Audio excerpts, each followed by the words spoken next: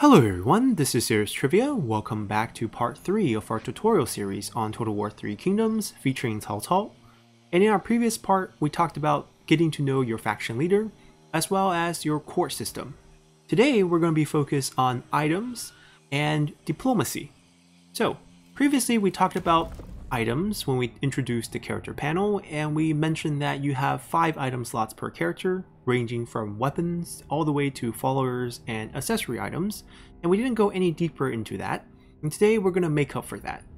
And the first thing we really need to do whenever you load up into the game, and something I'm sure many of you are pretty keen at doing, is to look at the notifications on the left side.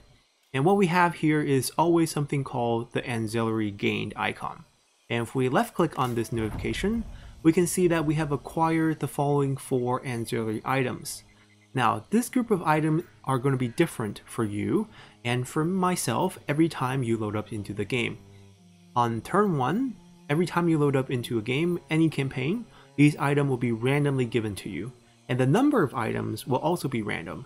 It can range from 2 items to 4, like right here. So it's quite a lucky haul. In terms of rarity, we can see that there is one item without any circle borders. This is a common item. And then we have three items that has a bronze color border. These are the second tier items and they're called refined items.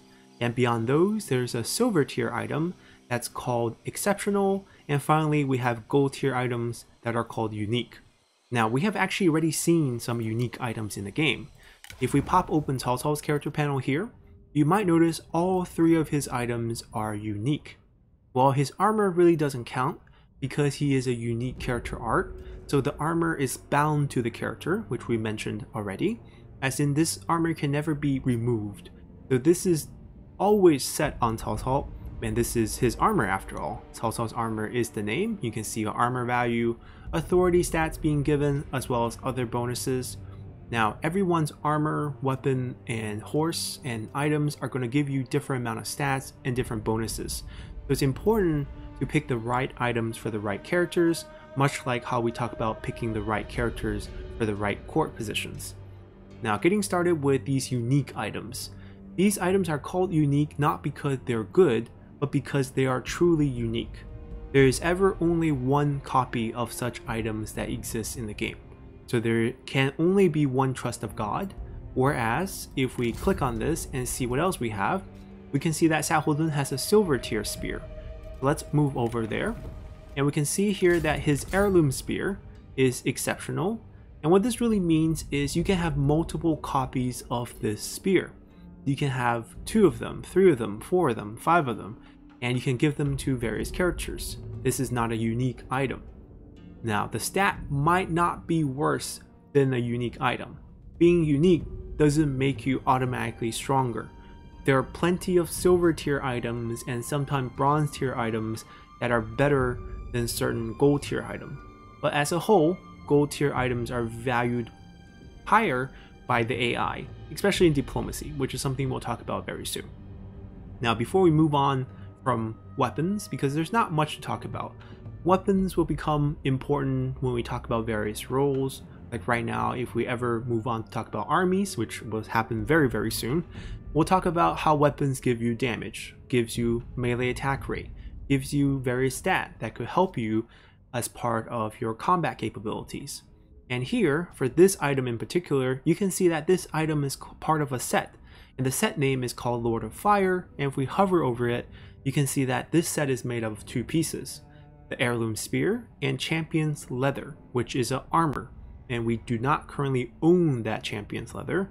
If we have that armor and equip both items on the same character, then that character will gain additional set bonus of 20% melee armor piercing damage for own army.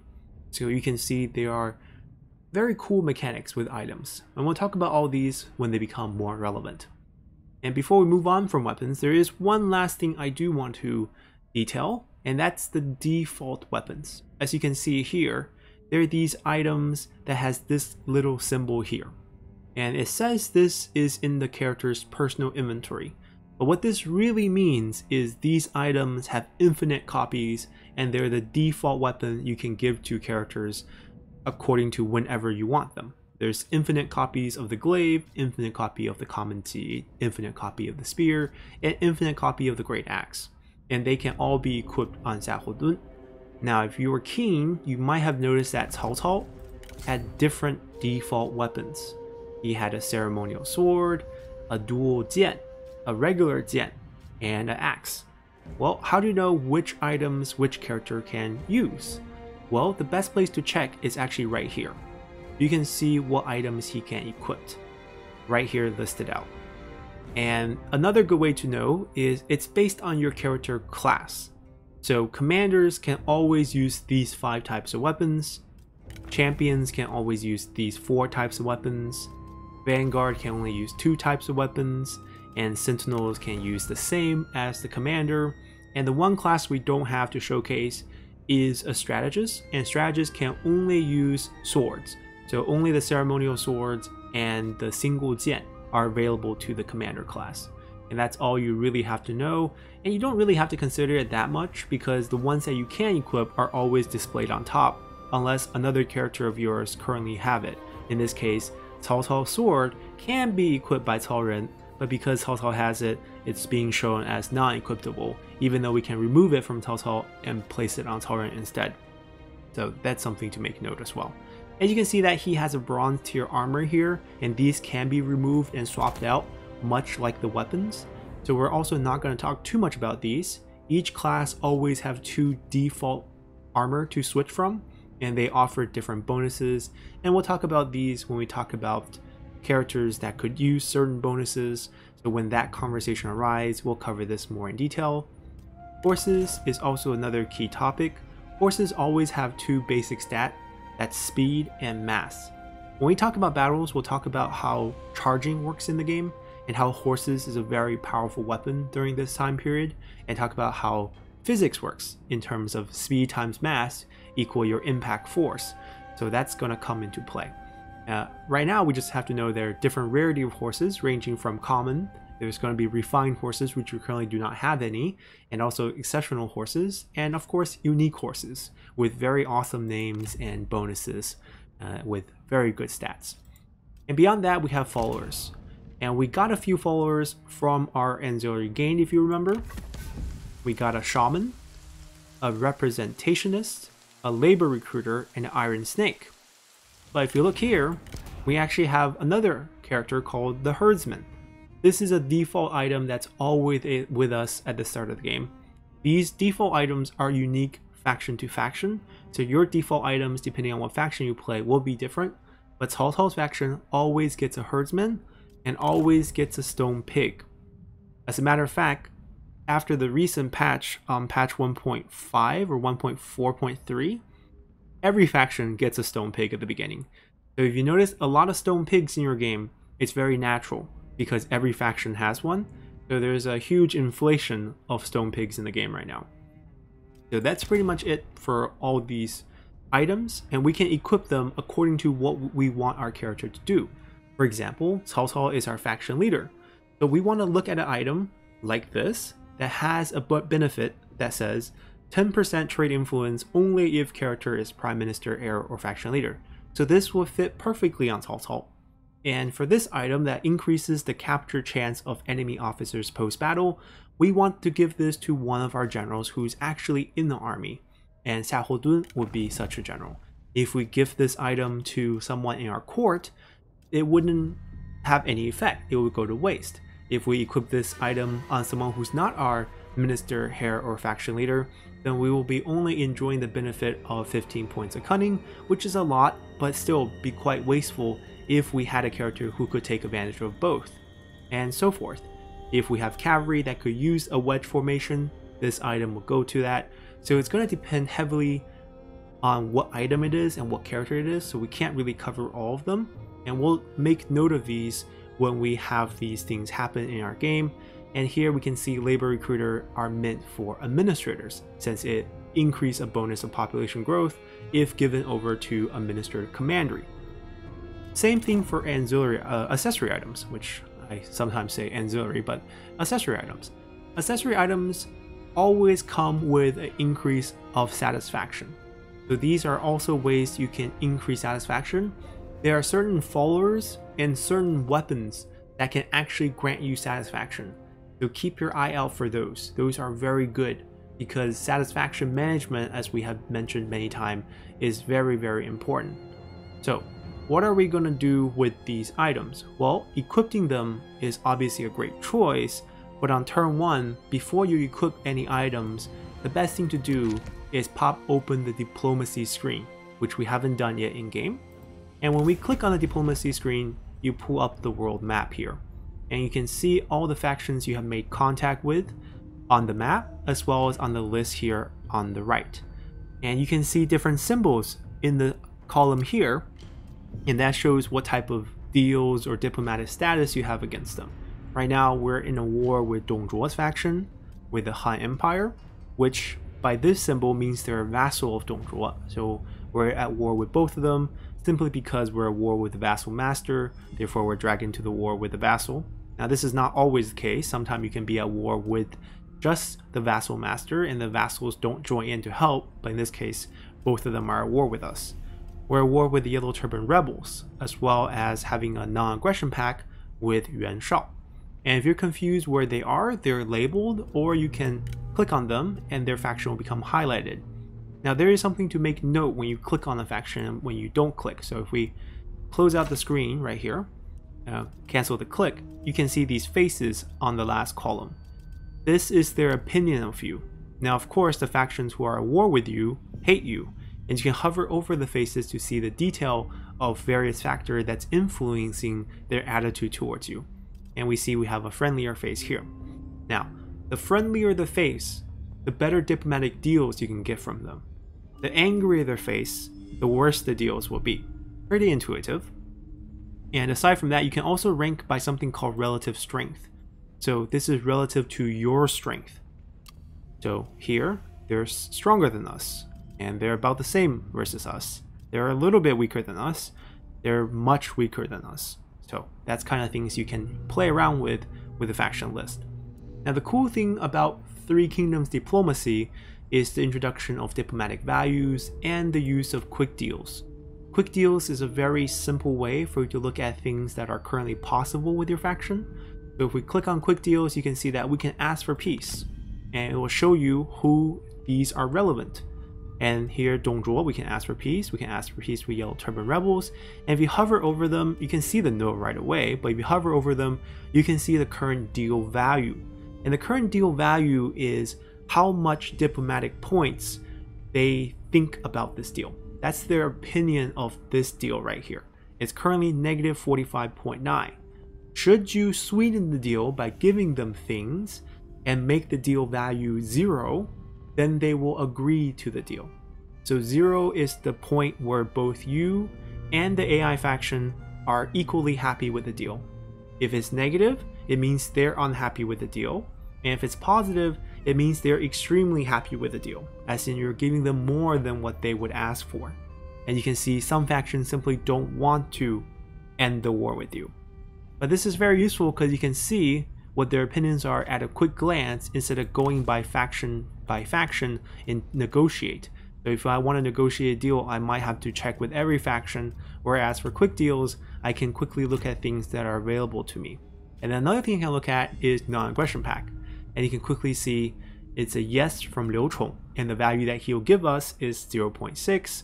And there's a couple maybes, and maybes means the value is really close to zero, and we can just give them a little bit of stuff to change their mind. So this is negative 2.5, military access, and trade agreement. And the most important thing you can do on turn one, if your faction has land and has neighbors who are not at war with you, is to secure yourself a trade deal.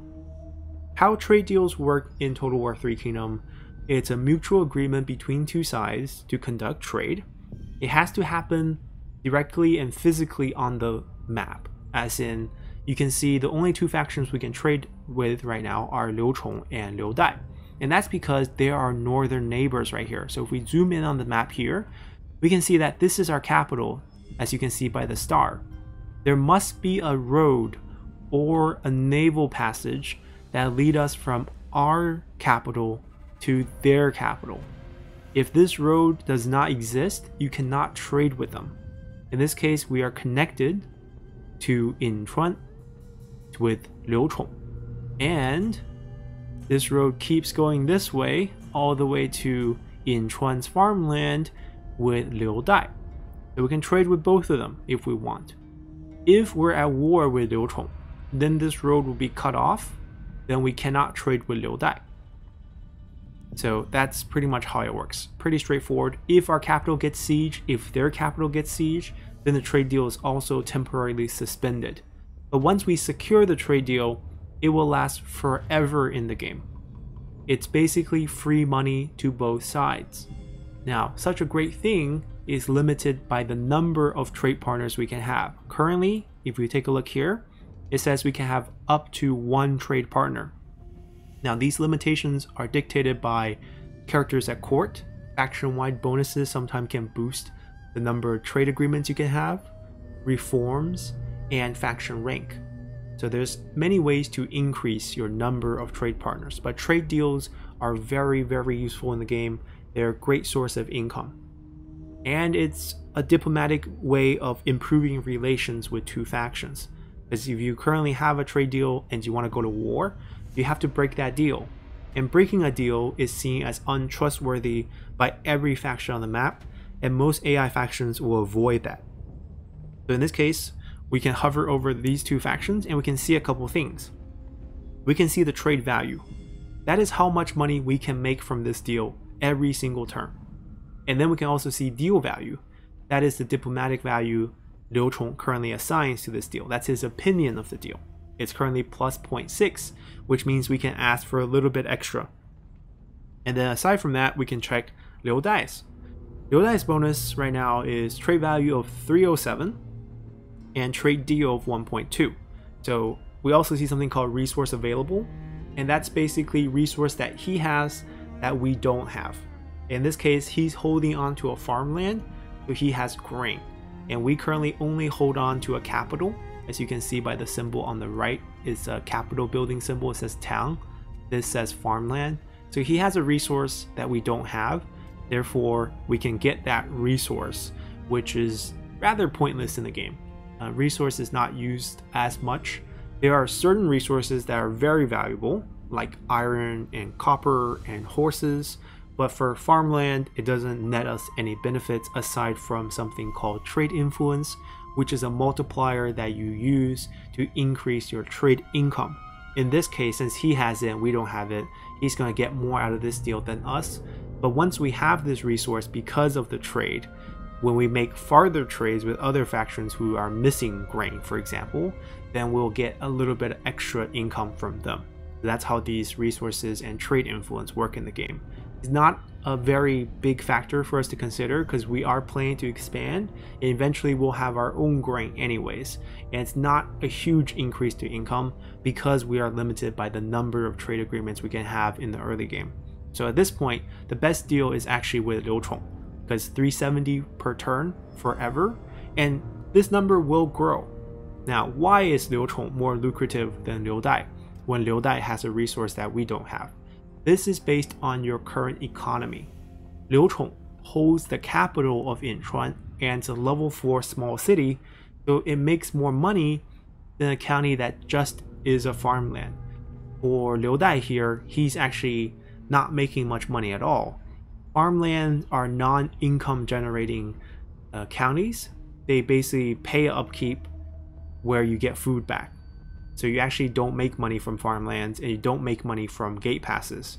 He's not making any income, but he's not losing money because he has family estate money, which we talked about being your inheritance money. So he survives off of that. Therefore, his economy is weaker and therefore his trade value is lower. And as both of your factions expand, that value will increase steadily. But it will be in the background. You're not really going to pay too much attention to it. At this point, we just want to negotiate with Liu Chong. Let's make a deal with him and we're going to negotiate. And down here, you can pick to sign the deal as is, just a straight up trade agreement, or negotiate for more things. So I advise you to always negotiate even if you see like 0.1 because there's other things you can add on to a deal. And over here we can see various things we can do in diplomacy. And we're not going to talk about all of them here because they're going to take way too long and it's not all relevant on turn 1. But the key thing is this trade and marriage tab as this is where you're going to get most of your trading done. You can see you can trade territories, you can make trade deals which is already added in in the deal. You can do marriages, you can do ancillary item trading, which is what we need to do on turn 1. You can trade your food, you can trade your money in per turn payments, and you can trade your money in lump sum payments. These are all very important. The main topic is trading items. Now, why is trading items the main topic on turn 1? That's because, much like you, every single AI faction just received their haul of random items, and you happen to be going first. So none of the AI factions have equipped those items on their character, because once you equip the item, it's not available for trade. You can see here, Cao Cao's Trust of God and the Heirloom Spear, as well as our Family Spear, are all not here because they're currently equipped on our generals. Of course, we can unequip it and put it up for trade, but right now they're not there. That's going to happen with the AI factions as well. Once they take their first turn, as in you end your first turn and they take their turns, then all the items are going to be placed on their characters and you can no longer trade for them. So turn 1 is the best time to trade for things with your neighbors. So we can take a look. Let's see what random items they got. So for example, he got two horses. Do we want those? Not necessarily. The main items you are trying to look for are rare items or items that can really help your faction right now. In this case, he actually doesn't have any. Usually you want to check followers because there's a couple of followers, namely the concubine and the philosopher, and legalist Fanatic, I will consider that, and some master craftsmen um, that will boost your faction wide bonus. Those are the ones I keep my out, eye out for the most. I want items that can go on leaders, which can boost the whole faction. Those are the most powerful in my opinion. In this case, he doesn't have anything good. Um, he has this rare item, but really it only boosts 10% range crossbow damage, and this is because his faction unique unit is a crossbow unit. We don't have that unit, so it's not going to be as useful for us, so we're not really going to trade for that. As you can see, everyone has a stone pig. So in this case, there is no item being dealt, that's totally fine, we'll look at other factions, but we do want this trade deal. And we want him to throw in a little extra. Perhaps he can make some per turn payments, and we can request such payments and we can also request the lump sum just for comparison. So here, we see that there are certain diplomatic attitudes being added in, and this is how he feels about this proposal of paying us. And you can see this is uh, 10 turns of 50 copper per turn. These are really copper coins at the time. Um, and then here we have 50 uh, lump sum payments. And you can see the diplomatic value is different. You'd be like, obviously, this amounts to 500, this amounts to just 50. Well, if we increase this to 500, you can see that this value goes way higher. And even though mathematically these end up being the same deal, this one's minus 3.7, this one's minus 6. Now, this is not always saying that per turn deals are better. What this is really saying is that this is a reflection of his current economy. His lump sum payment, as you hover over it, is out of a max of 2000 because almost all factions start out with 2000 income in the game. And because they only have 2000, 500 is a huge percentage of their total. Therefore, they're going to be very shy at giving you this much gold. Therefore, their opinion of this is quite low. If, let's say, we're 100 turns into the game and the AI faction has saved up so much cash, then at that point, they might feel very good about giving you 500. Whereas, if you hover over this, you can see this is income based on per turn income. Now, it's giving you the number that we are making, which is rather odd, but uh, basically the idea here, if you compare it to our stats, we have 2000 in hand, but 1653 per turn. So 50 of 1653 it's a much lower ratio than the 500 out of 2000. Therefore, the opinion on this is much lower. That's why it's better, not because it's always better. You can always do a simple check like this. So that's done.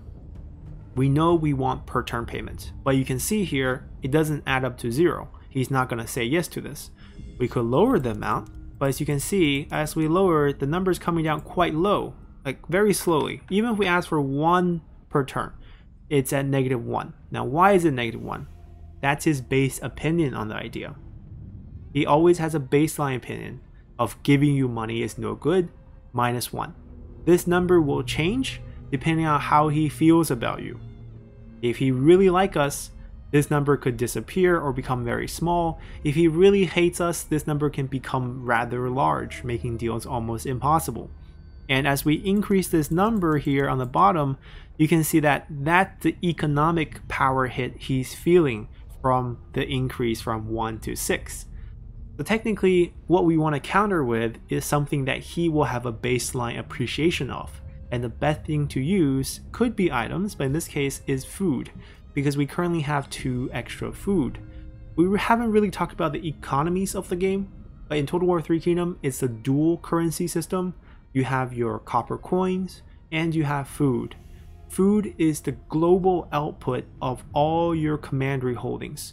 So each commanderies can produce food and also can consume food based on their population and the level of their settlement. So right now we are net positive to food.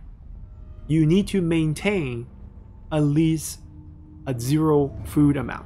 If your food ever goes negative, as though your holdings are consuming more food than you can produce, it, it is very bad. You never want that to happen. So always keep a buffer because food production will fluctuate with turns as each turn represents a season in the game.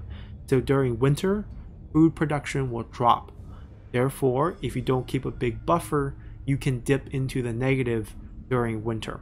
In our case, none of our commanderies are actually consuming food right now because they're very low level. Therefore, these two food are just always going to be positive because even if we get a production decrease in winter, since we're consuming none, it will just be a smaller number, but it will stay positive. So we can trade these away if we want. And we can offer food here. And if we drop it to 1 and hover over the number, we can see opinion of this idea, plus 1, and then plus 0.5 food. So this is very similar too. If we take a look here, we can see that he has equal amount of gold to us. We can't see his exact gold holdings, but we can also see that he's very poor in food which means he needs food.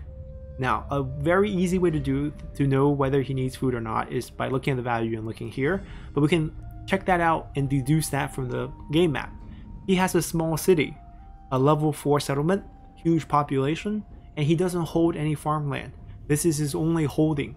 So he holds a settlement but doesn't produce any food, therefore his people are starving. That's why the default value here is plus 1. Sometimes they can starve a lot. Like right now at level 4 small city, he's only missing 2 food. Uh, I know this because I know how the small cities work. Let's say he has an imperial city there that consume maybe 40 food and he doesn't have enough and his has negative 20 food in his global food right now. Then his appreciation or opinion of this idea will go way up. And then for each additional food, it will increase by 0.5 here, up to a point where he has enough food. Uh, so it went up by another 0.5 and so forth. So that's how this game works. And over here you can see that, you know, if we go to 50, it's 0.6, but if we keep going, you can see it's going to make bigger jumps as we ask for more outrageous amounts. So see, it's already jumping by 0.2. This is increasing 10% each time we click over here and minus 10% each time we click over here. It's going to see that big jump? That went way high because the economic power drain on him, he's feeling it as you ask for more money. So uh, when you ask for stuff, it's going to be higher and higher. It's going to be marginally increasing. When you're offering stuff, it's going to go lower and lower. He's going to need less and less of it from you, so it's marginally decreasing. Right now, we're not going to see that effect on food because we only have two, but let's say we were going to pay him, right, just for science sake. Right now, it's 0.1. He has no opinion of this because he doesn't really need money. If he was bankrupt, then he would give us a favorable deal here. But in this case, let's go to 500. You see it's 1.1, 1.2, 1.3. It's just not going up by a lot, whereas these will jump way high. Uh, but so using the idea that there is a positive one point opinion of this idea to counteract the positive the negative one point opinion on this idea we can make a more favorable deal for us. And in this case if we play around with the numbers a little bit uh, we can probably get the max amount here. Oh 94 was max. Okay so 94 per turn for 10 turns 940 we'll also give him food uh, for 10 turns one food per turn this is not a treasury of food, this is your per turn food. So it will go down to 1, it's not going to go down to negative 8 because you traded away 10 food. This simply means you're producing 2 food a turn. And that extra food you have is going to turn into something called reserves that you're going to save up in all your commandery. And it's going to help give you extra income from peasantry. You can see the plus 2 reserves here on the effects because we're getting 2 extra food. So that's how it works uh, let's agree to this deal. And when you agree here, you can see everything going on, all the factors equal to zero, and he has an attitude based on this. So right here, because he's making a deal with us, he's happy he's dealing with us, he's going to increase his attitude or his opinion of us by 10 points. We will say yes. Um, actually, let me showcase something else. There are attitude thresholds. So this number is going to make a jump once this number becomes 5.0. So at 0.0, 5.0, 15.0, you'll get different attitude increases. I'm gonna try my best to push this beyond 5. We're gonna give him an item real quick and take it away of course, I don't intend to trade it. Okay, so you can see that item is worth 2.1. We're gonna give him another one, make that 4.2, and then I'm gonna give him, so at 4.2 you can see it's already gone up, right? 15 points instead of 10. But if we give him some more money, I want to push it to over 5. So we need, that should be good. You see this is 25 now. It's not increasing according to points. So beyond 0, if he's getting even slightly a favorable deal, even 0.1, it goes from 10 to 15. If it goes to 5.0, in this case, let's try to make it exactly 5.0, it's 25. And as you increase it even more, you see it's not going up by a lot, right? When you hit 15.0 down here, it's going to go jump again. And I think that's it. Someone mentioned 30.0, but I don't think that's actually true. I actually never observed that in any of my game. I could be wrong, but usually you don't want to give the AI a 30.0 type of deal. That's just way too much for a little bit of attitude bonus. Uh, but the idea here is if you want to improve your relationship and you can't afford to make a favorable deal, then you want to make them at key jumps of 5.0 and 15.0. In this case, we're very happy with the zero type of deal here. Um, I wonder if I actually, if I throw in like very minimum money enough to give 0.1 value, whether it will increase because like 20 gold is nothing to us. Right? No, it needs to be higher. It needs to be like 0.3. So in this case, it's not worth it. Let's just go with 0.0 and we'll get our deal done. So that's the trade deal. That's pretty much all you need to do on turn 1. Secure this trade deal. Because you lock yourself up with a trade partner, you also lock up his trade partner. The worst thing you can do is forget to do this and on turn 2 you notice all the AI has finished trading with each other and they have their partnership filled and you can't trade with anyone even though you have extra slots. That's the worst feeling in the world. Now, of course, not all factions can do this. Some factions start out without land. Some factions start out without any friendly allies nearby that they could trade with. Like everyone, they're surrounded by enemies, therefore you can't get a trade deal. That's normal. Don't feel too bad. You can work out of it. But if you have a faction that can make trades, make trades. And if you don't know, just go to quick deals. You will see it pop up if you can get a trade deal, which in this case, now that we got one, it's turned off. We're not done yet. Remember items? It always a good practice to look at every faction that you're friendly with on turn 1 to see if they have a good item that you can trade for. So let's go negotiate and take a peek at what they got. Nothing great, Moving on. He has a silver armor. Not worth it. You want faction-wide bonuses. In this case, is a spying one. Not worth it. I prefer economic or satisfaction bonuses. So nothing great here. And another trick is if you don't want to click into negotiate, you can always just right click them and that automatically push you into negotiate as you can see. So if we showcase that again, if we go to diplomacy, instead of left clicking and left clicking, you can just right click and it'll pop you right into the diplomacy. Uh, we can look at his items. Ooh, he has a silver weapon. So weapons are quite nice in the game because most of the character damage come from the weapons themselves. Uh, so it's very key to get a good weapon early on. Sadly, he doesn't have any interesting followers or uh, accessory items. If, let's say, we want this weapon, which I don't really want because we do start out with quite a few good weapons already, you can see the value of the weapon is super high. There's a base ancillary worth and that's going to be the same for each item of the same tier. So all silver items will be worth 8 by the AI.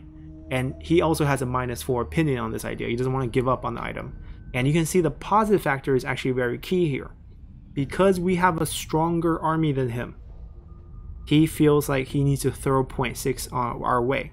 Which is why we want to make all these deals. Doesn't matter if it's a trade deal, doesn't matter if it's an ancillary item trade deal, or a non-aggression pact, whatever you want to do on turn one, do it before you fight that first battle. Because after you fight that first battle, it's going to be very hard for you to take no damage, and if you take damage, your military strength and strategic situation points are going to drop, and you're going to get a worse deal in diplomacy. But in this case, this one currently is worth 11.4. The only way you can secure these items is by trading your own ancillary items. Perhaps there are certain ones you don't want. Uh, for example, Stone Pig is pretty worthless, but if we just took a look at the value, silver ones are worth 2.5, assuming they like you. Sometimes the faction don't like you and they'll drop the value a little bit. And just for comparison's sake, a regular one is worth 1. And these values will change patch from patch. These were nerfed. Previously, these were worth 2 and these were worth 5. They all been halved, uh, which is rather sad. Uh, we don't have a silver one that's tradable. We had to remove a spear, but it, I think it's gonna. It used to be 8, so I think now it's like 4. Um, but that's the idea here. We're probably not gonna be getting this, although Liu Dai is actually very interesting for Cao Cao's faction. So this is a unique trick for Cao Cao that's not gonna apply to any other factions.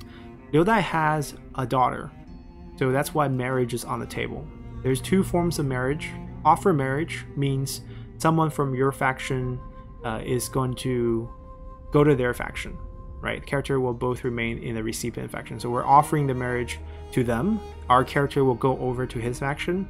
Receive marriage means their character that's part of the marriage will come to us. So this is the difference. Obviously, the opinion of this will be different depending on who gets the character. And here, we can definitely do something with this for Cao's faction because I know what's going to happen with his faction because I played it many, many times. And for those of you who want to use this trick, I'm just going to showcase it because it is available. And the problem here is your father, Cao Song. If we notice on the family tree, we are married already, so we're not going to arrange any marriage for ourselves. Our sons are not of age yet. You cannot set them up until they're 18. Our father is single, and our cousin is single, so both of them are available. Our father is 51, but you can still marry him. It's totally fine. The issue with our father is he has a scripted death event in the game. As in, he will die very, very soon from the start of the game, as it happened historically. And it's going to trigger a conflict between your faction and Tao Qian's faction over here. So he's going to die very soon. Therefore, if you want some value from him, you can marry him off. And the only faction that has a marriage available is Liu Dai. So a very common trick is to offer your dad in marriage, as in send him to Liu Dai's faction. That way Liu Dai feels better about this deal. His daughter doesn't. They don't like each other. You can see by their harmony and disharmony is X. But father's happiness and Liu Dai's daughter's happiness is not our business. You can see here there's tons of factors involved. He doesn't like marrying his daughter away to our father. Understandable. We're rather close in terms of distance, so that's not penalizing us too much. Our character is deemed very worthy. We're getting 5.2 value from our father, giving him over. And because of our military strength relative to theirs, we also get 11.7 points. Once again, highlighting the fact how we need to do these deals before we do our first battle. So, In this case, we can offer our dad up. And if we offer our dad up, we can get 6.2 value back. So now, this weapon isn't so far off reach, right? 11.4, we already got 6 points of it done. He actually doesn't have anything else that's great. I mean, the cavalry, the, the horse here is nice, but not as nice as the weapon, to be honest. So I'm going to try to get the weapon, and we're going to have to give him stuff back, of course. Um, in this case, I think Stone Pig is pretty worthless since every faction starts out with them. And in terms of these items, I actually quite like the items we got, so I actually don't want to part way with them. If we look at the current situation, 2.7, we can of course pay for that, but the better way is actually to borrow Xiahou Yuan's weapon, because we can give him a better one. To be fair, we're going to give him a silver one after this. So, what we want to do here is remove it. And when you remove it, he must always hold on to a weapon. Every character must have a weapon. That's why we have these infinite number of default weapons. So once we hit remove, it will just automatically go to the default variation of the weapon that he had here. Which is fine, he has a spear. And one thing to note is the game will put your item on cooldown once you remove it. So let's close this window, pop back in. If we want to put the weapon back, you can see that it has this cooldown symbol. It will become available next turn. The reason why the game does that is they want to prevent you from sharing items between characters if the effect is really good. For example, if you have a really good effect like construction cost discount on a follower item, and I have a bunch of different administrators, each taking care of a separate commandery, the game doesn't want you to just pop that item onto that administrator, build something, pop it off, give it to the next administrator, have them build something, and have your one item multiply in effect. Well, this might sound really nice, but there's one way to bypass this. At least once. You can share item between two generals. That's possible. If I don't want it to go down to cooldown, you can do something about it. In this case, we're going to test it with Xiahou Dun's Heirloom Spear, which increases instinct and expertise, which are better stats for Xiahou Yuan anyways. He is a green character, a champion, so we want to focus on his primary stat. And if you notice on that Imperial Ji that we're trying to gain, that item is giving us resolve, which is great for him. In this case, I want to give this spear to my uh, cousin here, Xiahou Yuan. They're, they're related. So what we're going to do here is go to the character who you want the item to end up on, in this case Xiahou Yuan. And then when we want the item that we want, or the item that we want, click it, and click remove here. As long as you stay in the same screen, what the game logic is doing, actually let me explain this real quick. If I remove this weapon here, and then I equip it right back, the game allows that because they think you might have removed it by accident. They don't want to punish you for that. So that's allowed. It didn't go on cooldown until I close this menu, right? I have it equipped, it's fine. I can close it. His spear, we took it off and closed it, now it's on cooldown. Makes total sense. But what if instead of closing the menu, I force Xiahou Dun to remove it from this screen, Xiahou Yuan's screen? So now the game is kind of confused because I removed his spear from his screen. Now it's thinking that I'm trying to equip it back because I removed it by accident. And boom, it's on Xiahou Yuan. Didn't have to go down cooldown at all, and we had the spear on the right person. This works very well when you have only one copy of the item. If you have multiple copies and you're trying to do a remove and you have multiple heads here, the game logic breaks quite uh, you know quite a lot. As in when you're trying to remove it from the first character, they will actually remove it from like a different character and you can't do it as smoothly. But in the case where you only have one copy, you can do this every single time. And now Xiahou Yuan is the one without the weapon. Now, once you switch screens, it goes on cooldown and you can't do the same trick to get it back. So you can only do it once between two characters, but it's still very neat to save you a turn. That's something you can do. Now that we have removed the bronze spear, we can offer it up in a deal. So going back to Liu Dai, uh, we got to right click, offer our dad away, and we're gonna trade ancillary here. We want his Ji of Imperial Guards. This is Resolve, as you can see. We're going to give this back to Xiahou Dun to make up for the fact he lost his Silver Spear. We're going to throw in another uh, Stone Pig. I think this will come out to about negative 0.2. And then at this point, we can either give him food and make him pay us a little bit back or just pay him a little bit of cash up front. Both are fine. I think I want to keep the one food. Um, he's not very rich. He's not going to pay us back a lot. And because he's poor, the same 50 that was only 0.1 for Liu Chong is 0.2 for him. So the money valuation is always relative to what they have. See, he's food rich, so offering him food is not going to result in the same amount of bonus, even though he's not that food rich at this point because he only has one commandery, so it's still 1.5. It's not making my case for me, but the value here can be as low as 1.1. AI always appreciate you giving them food, so they always have the 1.0. But if they have a ton of food and they don't need extra food, then it will drop to 0.1 for the first food value. So the lowest the food will ever be is 1.1, and the highest I've ever seen it is 2.5. Uh, sometimes the AI just really need food, and they will give you two points of opinion on the idea. So that's all things you can make notice. We can probably drop this by a little bit more. I'm guessing 42 is the answer to life here. Nope. 44, 43, 43. Trying to save every penny here. And that's going to make a good deal. Father is going to get married away. And you can see here, he really likes this deal. Part of the reason why this is getting increased more is because we're now family because we married our father over, so we're related now. So it's increasing a bit more. And because Dong Zhuo is a shared enemy between us, he's also at war with Dong Zhuo. Dong Zhuo is gonna drop opinion against us because we're making a good deal with a friend of with an enemy of his. So friend of enemy is a enemy, but in this case, it's enemy of enemy is our friend. So let's make this deal. Alright, so that is turn one diplomacy. There are many, many more things to discuss about diplomacy. This doesn't cover even an ounce of it. We also have our faction unique ability, which we haven't talked about at all, and this has to do with diplomacy all the way.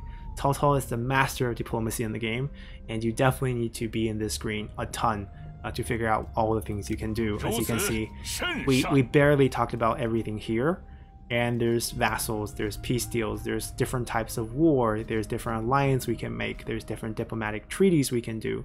And if we do have allies, we can set war coronations. There's a lot of fun things we can do in diplomacy, and we'll cover them as we move forth. But I feel like we have spent enough time setting up our game, and we're ready to start this first battle at the beginning of our next tutorial episode. So hopefully you guys enjoy this one, and we'll see you guys then. Bye!